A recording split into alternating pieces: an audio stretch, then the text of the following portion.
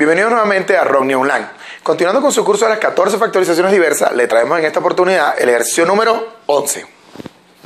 Como pueden ver, un trinomio el cual se presta muy bien para llevar una ecuación de segundo grado, dado que el primer término que tenemos es 4 a la 2m.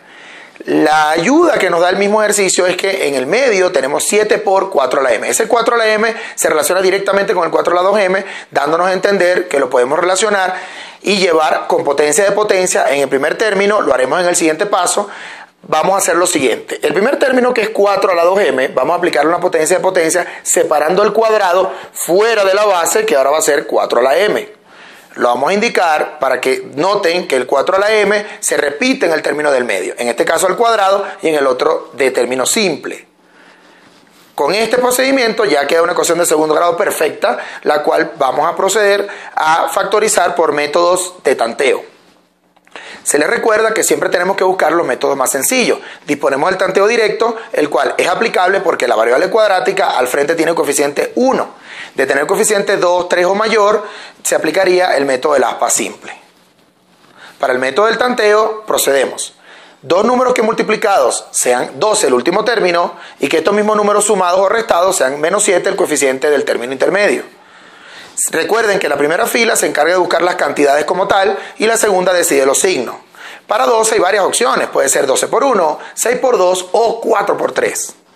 En esta oportunidad escogeremos 4 por 3 dado que notamos que la suma da 7, pero por ser menos 7 ambos números deben ser negativos, porque menos 4 menos 3, signos iguales se suman, resulta menos 7 y perfectamente encaja en la multiplicación porque menos 4 por menos 3 da 12 positivo. Para factorizar se toma la variable principal del trinomio, la cual, si les cuesta reconocer, siempre es el término del medio, 4 a la m en este caso. Con cada número, con los signos que consiguieron, 4 a la m menos 4 y 4 a la m menos 3. Se pudiese pensar que el ejercicio ya se ha factorizado por completo, pero el primer término nos trae una sorpresa en el minuto 90. El 4 a la m menos 4 se pueden llevar a potencia de base 2. Procedemos a hacerlo para que noten ahora qué factorización vamos a aplicar.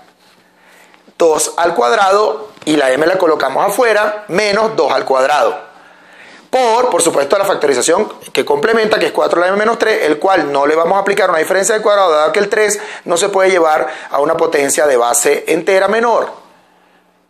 Procedemos a la diferencia de cuadrado, pero antes le vamos a mostrar un juego de potencia de potencia, simplemente para que tengan una herramienta adicional para algún caso de emergencia.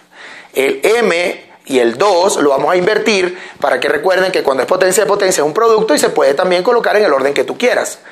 En este caso me conviene mejor 2 a la m y el cuadrado afuera para notar perfectamente que es una diferencia de cuadrados. Por último, la realizamos.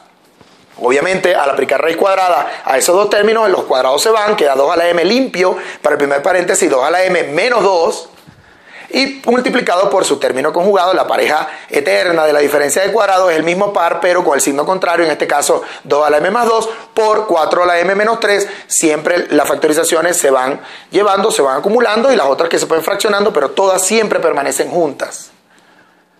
Llegamos al final y esta es nuestra factorización definitiva. Notamos que no podemos seguir factorizando y este es el resultado que podemos ya para el ejercicio número 11.